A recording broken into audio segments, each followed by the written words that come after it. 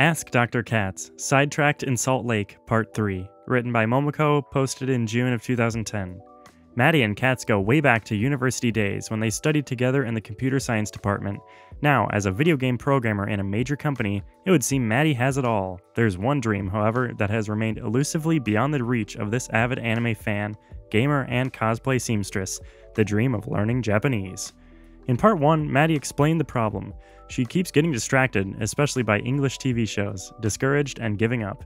In part 2, Dr. Khatz encouraged her to view language as a habit instead of a skill or intellectual pursuit, and give herself credit for learning things in context. In the last installment, Dr. Khatz reveals the secret of how he managed to learn Japanese on his own while still functioning as a busy college student in the US. Continued from part 2. Okay, so at the end of the day, I do want to do this, but I still live in America. I still have to go to work and pay my bills and talk to my family, and this all has to be done in English. So it's not like I can go and live in an all Japanese place. I still want to learn more about code and read stuff and actually understand it, etc., etc., but I would like to learn Japanese. I can easily, or at least relatively easily, switch my background, I live alone and I don't like a quiet apartment, stuff to Japanese, and I can even dedicate half an hour or so to learning to read every day. But is this enough? I know I won't learn as fast as some, but I want to learn. I can't sacrifice my life to this, but it is important to me. Good question. Obviously, the more you give it, the more and faster you get. As you recall, Maddie, yes, I gave everything to Japanese, but I was still a functioning college student. I mean, we talked, we hung out, Here's what I did. Here is the secret, if you will. Next heading The secret, the secret, the secret. I removed any and all English that was not necessary, not necessary to my livelihood, safety, or basic minimum maintenance level for key relationships. For example, when I would talk to Momoko's dad, I often didn't take off both earphones, just one side. To some, that's going a bit far, but I wanted Japanese, and I wasn't going to make excuses. I was going to give myself, as far as possible, everything that a native speaker gets. A so called native speaker, that is. This term is very flawed. So, yes, my college classes were in English, but my home and bedroom needn't be. My college assignments were in English, but why does my iPod have to have English on it? The university webpage was in English, but does my Gmail have to be? And people say, but what if I don't understand? I'm like, I'm a simulated native. If I don't understand, then I learn to understand, and I don't get to do this stuff until I do. Sounds strict, but like I said, I had a very playful, experimental attitude. It only comes out sounding strict to make it me seem good and disciplined, but you know me, Maddie. You know me. You've been to my house here. We went to school together. We took classes together. We TA'd together in the computer science building. You saw my desk area. You know I'm just a scruffy little kid who thinks the world is his bedroom. Hee hee. Oh, yeah.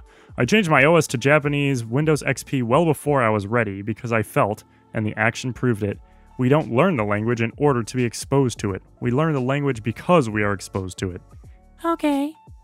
Next heading Touch the language. Now, if that all seems hard to do, one simple hack is this increase the frequency with which you are exposed to Japanese. Focus on just touching Japanese, coming into contact with it, even if it's like have a batch file that plays a Japanese song or opens a Japanese YouTube video once an hour every hour. Something, anything. Touch the language.